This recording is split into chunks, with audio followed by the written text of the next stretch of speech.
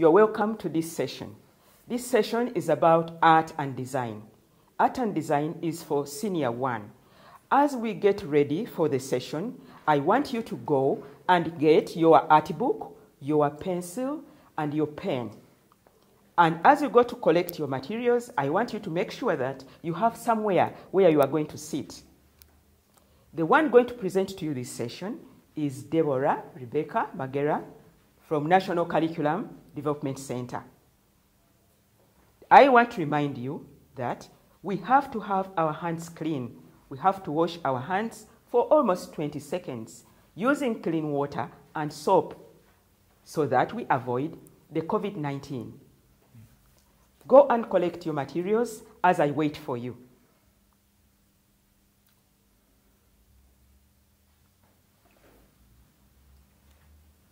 Right, welcome back. Get your, get your seat and get ready to listen to this session. We are going to look at appreciation of art and design. You already see, even my wear, he's having some art and design, isn't it? We are going to look at the terms. We are going to look at the terms in art and design. These are the terms. Have your, your art book open and have your pen ready to write. We want to think about these terms. What is art? What is design? What is art making? What is art response? And of course, what is involved in design language? You can write those five questions in your art book, and uh, you can quickly think of the right definition you could give to these terms.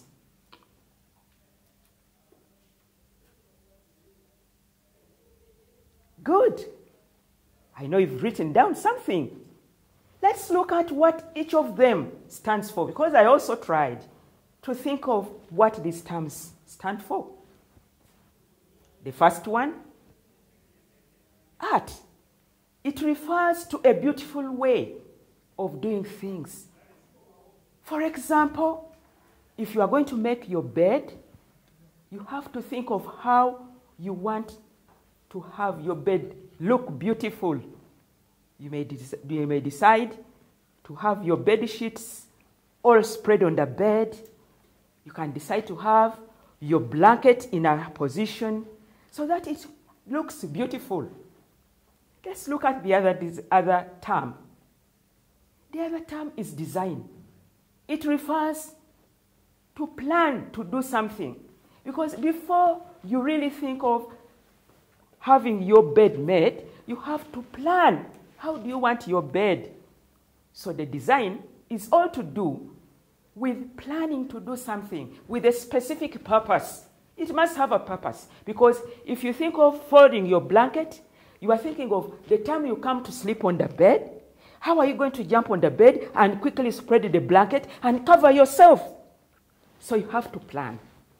The other term is art making. Art making is to do with creating something. I have given you an example of making the bed. So you create something. And if you are going to create something, you look at now, let's look at our blanket. How are you going to create that, that design? How are you planning to make it? Are you going to fold it and make it in a triangle shape? Are you going to make it in a square shape? Are you going to fold it and fold it and fold it and fold it and it appears like a pillow? Let's look at the art response. The art response, this is to do with understanding and communicating in a clear way. Because the way you may make your bed will give a response. And that response, in a way, will make one understand what you are trying to communicate. That yes, the way the blanket is made, it means that any time jumps to bed will easily unfold the blanket. Hope you have those terms well defined in your art book. Let us just look at the design language. The design language has three parts it has the form, the color, and the concept. Let's think about them. The form is the composition of the fundamental elements of design. The color plays an important part of adding variety and the mood as well as passion. Just look at my dress, for example. The composition in which it was made. You can look at the patterns. You can look at the color. The concept is the idea or thought behind a design. So the artists, the artists go through this and they find an artistic solution. Dear viewers, my dear learners, these are the terminologies which we shall always be coming across. Let us look at the importance of art and design. That's where we are going to next. Are we together? Yes, I know we are together. Well done. We are now going to look at the importance of art and design. Why do you think we need to learn art and design? Still get your pen and write down some reasons why you think art and design is important.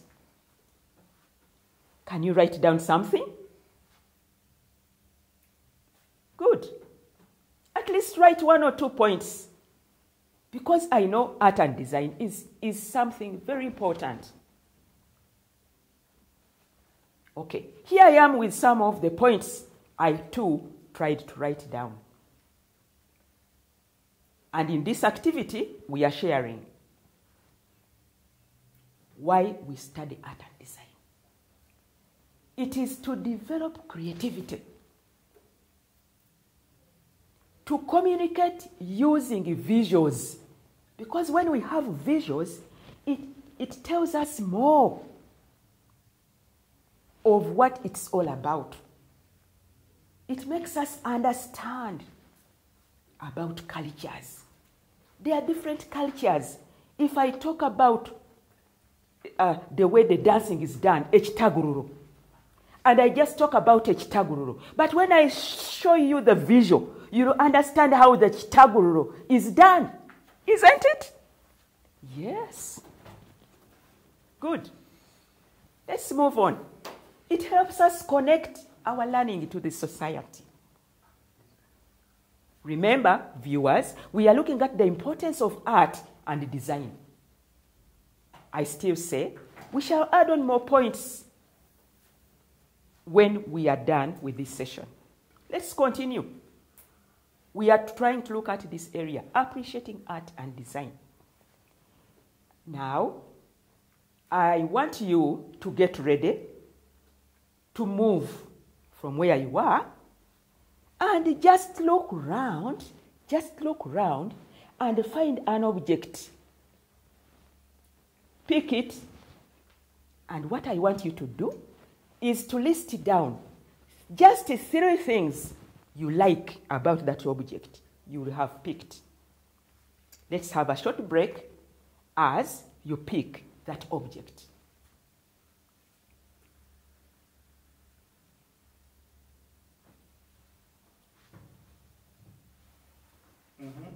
Good. Welcome back. Now, look at that object and list three things.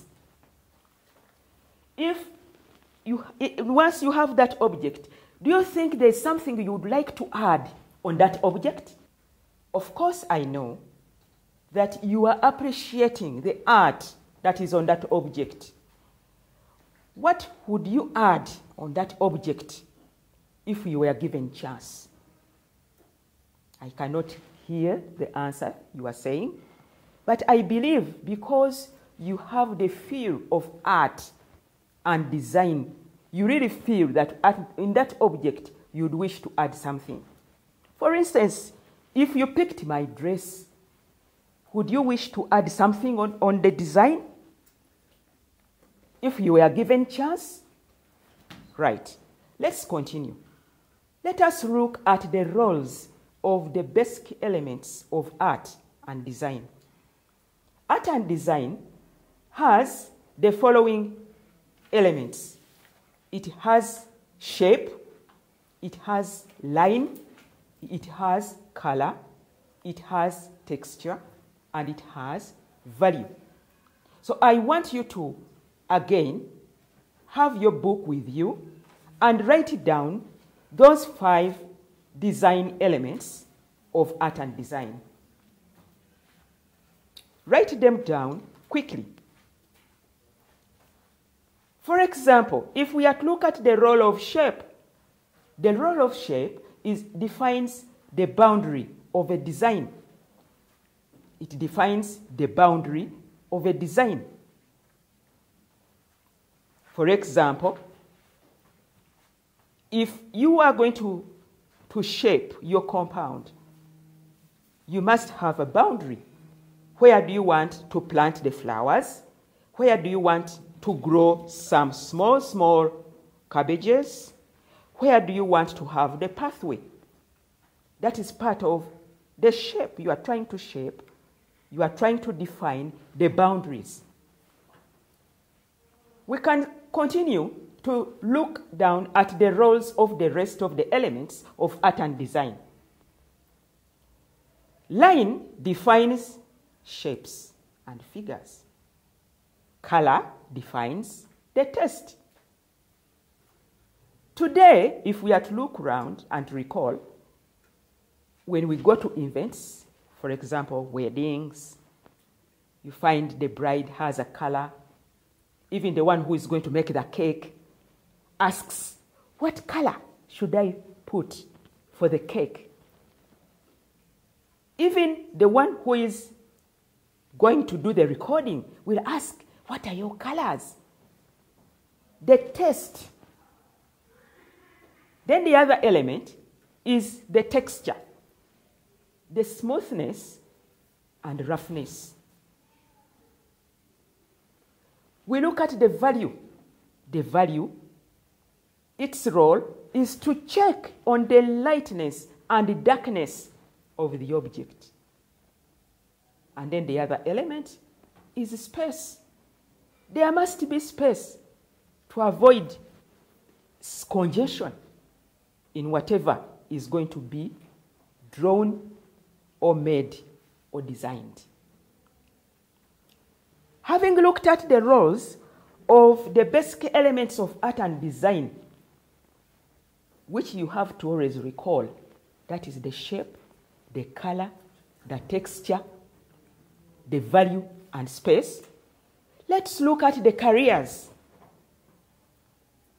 Of course, some reference, you'll be watching a video. Go, I'm going to leave you that link and where you are able to get the access of an internet, you will click in, uh, you will click in that link and be able to look at some more notes on elements of art.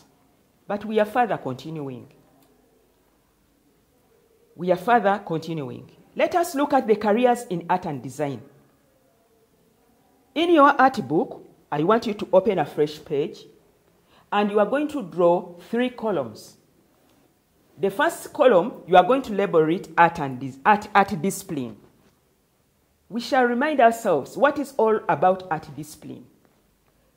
I remember when we were starting our art and design lesson, as soon as we started our senior one in term one, we were taken through the art discipline. And one of the art discipline, we have the imaginative composition, we have the nature study, we have the living, we, we, have, uh, we have the composition. Let us look at them. We have still life drawing. We have nature. We have graphic design. We have construction and assembly. These are the six art disciplines. Um, still life. I want to start with still life. Uh, still life is where one has set maybe a basket of fruits And in the basket, there are fruits of pineapple, pawpaw, sugarcane, apples, um, watermelon, oranges. A basket full of fruits is put on the table. And there, one is required to draw. Another one could be you are taken to a site and you look at the hills the way they are overlapping one, and one after the other, the trees, the sky, that's the landscape. So the career one undergoes for this becomes an artist. He becomes a landscaper.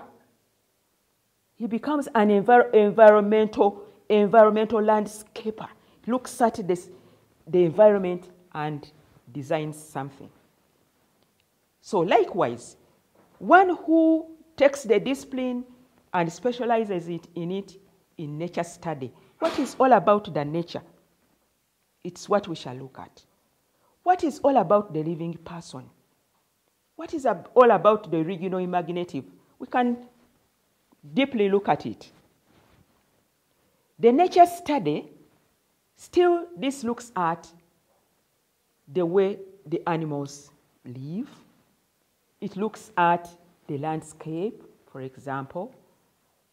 One looks at a, a banana plantation when it is just uh, flowering, bringing out what is going to become a bunch of matoke, and looks, uh, looks at it, then it draws, looks at the sky and looks at the way the sun is rising, looks at the color, the shading, the light and dark. Remember, we have looked at the basic elements of art and design.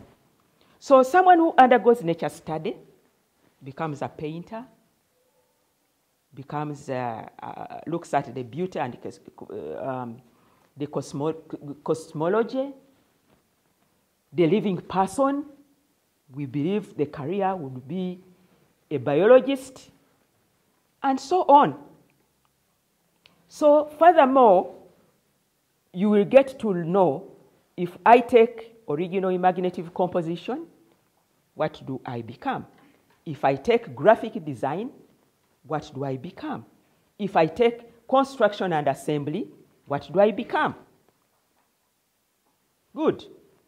You will be writing most of this in your book, and you still do some research on what are the others. Today we look at fashion designers, we look at decorators, even one who makes a cake decorates the cake, and you see a, something very artistic. So, which of these careers would you like to be? I, for one, am an artist. I'm an artist, and I always design. So, in this session, we have looked at terminologies, we have looked at the importance of art and design, we have looked at the basic elements of, of art and design, and we have shared something to do with the careers. In the session, I kept on telling you that at the end of the session, you shall look for more information on the importance of art and design. We shall look at what are the other careers that exist if one takes these different disciplines we have looked at. That is the imaginative, the living person, the nature study, and so on. Dear listeners and dear learners, I want to remind you that we have to always wash our hands every 20 seconds. Wash the hands clean in between the fingers, clean. Wash them clean with clean soap and water. Keep safe Stay home.